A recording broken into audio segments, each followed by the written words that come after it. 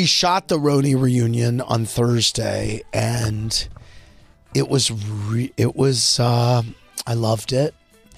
Um, I always get accused of over overhyping reunions. I thought it was a really strong reunion, and um, we went through more Kleenex than we've ever gone through at a reunion, ever.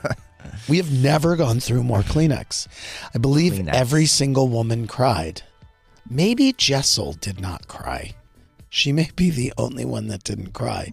Every other woman cried. They all have such interesting stories. And it was great and it was healing and it and it and it was everything it was supposed to be. It was Did you uh, cry? When's the last time you cried?